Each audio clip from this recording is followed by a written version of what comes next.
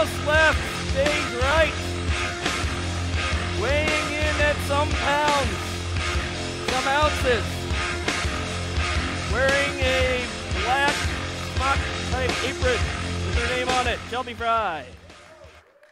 Our second painter. Also weighing some pounds and some ounces, some stone and or kilograms, depending on what you measure your weight by. Also wearing a black apron with her name, Mercedes.